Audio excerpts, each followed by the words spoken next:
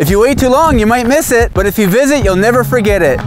Butte County's Table Mountain is a land of ephemeral waterfalls, fleeting streams, and gorgeous vistas, and in the spring, explosions of wildflowers.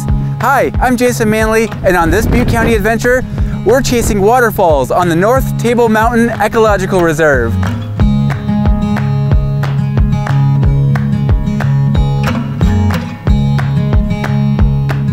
It is a beautiful, crystal clear winter day here on Table Mountain. A lot of people like to hike here during the spring for the wildflowers, but it's an excellent hiking destination anytime during the rainy season, November through April.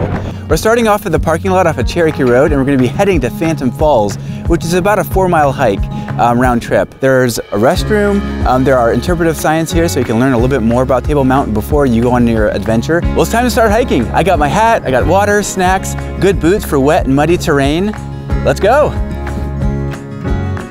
Don't forget to pick up a California Department of Fish and Wildlife Lands Pass before your visit. I purchased one online, but you can also use the QR code at the trailhead or get them in person anywhere that sells a fishing or hunting license. If the parking lot is full, there is limited parking along the shoulder of Cherokee Road, but be sure that your vehicle is not blocking any part of the pavement.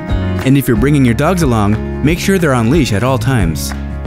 So Table Mountain is an ecologically sensitive area and the soil is really thin sitting on top of that basalt. It's really a special habitat and that's how we get those great wildflowers.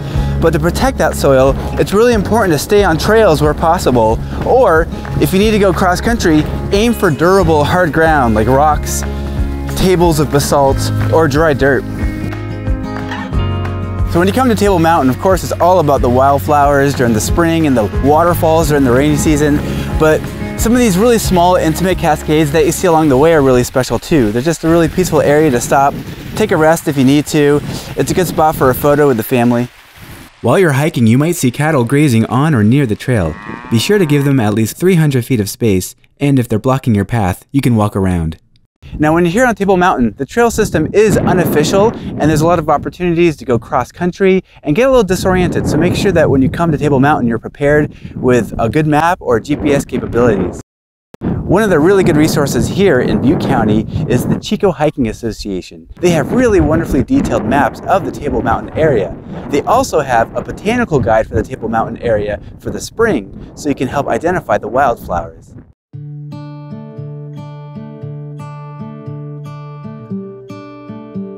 We're a little more than a mile in now and we're at Ravine Falls, which is a great halfway point to Phantom Falls. It's one of the first big waterfalls here on Table Mountain that you go on this trail. It's a great destination of its own if you want to keep your adventure here short or if you have small children. Just watch your step around here. Uh, if you haven't noticed already, Table Mountain isn't exactly flat. So it's pretty rocky, lots of opportunities to slip, trip, fall. So make sure you have those good shoes.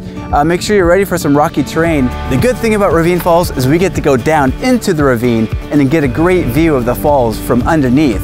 It's a little bit steep, but it's really worth it.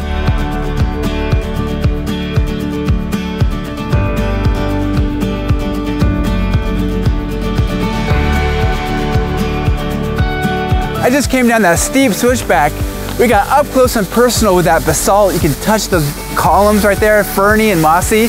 But if it's rained recently, you get to see the underside of Ravine Falls.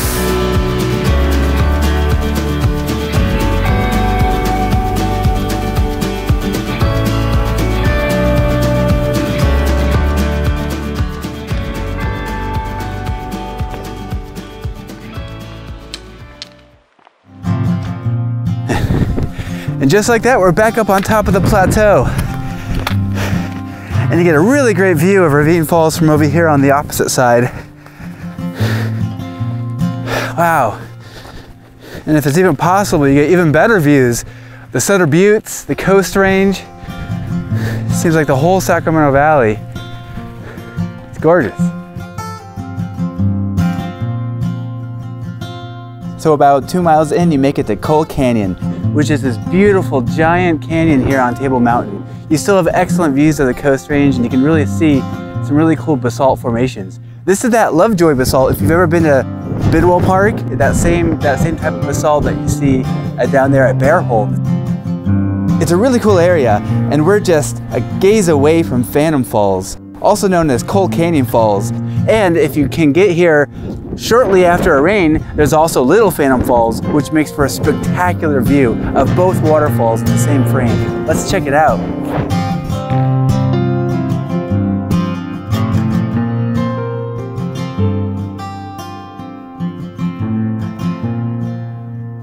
To get the most out of your visit, plan your trip on the weekdays or early in the morning on the weekends to beat the crowds.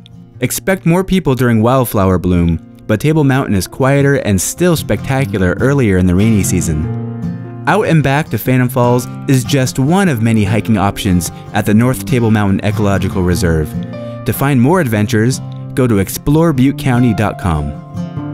Every time I hike on Table Mountain, it's a new and interesting experience. You got greenery and great vistas in the wintertime with waterfalls, wildflowers in the spring. When you're out here hiking on Table Mountain or anywhere else in Butte County, just make sure you pack it in, pack it out, stay on the trail if you can, stay safe, and have a good hike. Thanks for joining me, Jason Mandly, on another Butte County adventure. There are a lot of opportunities to hike outside any season here in Butte County, so keep on exploring.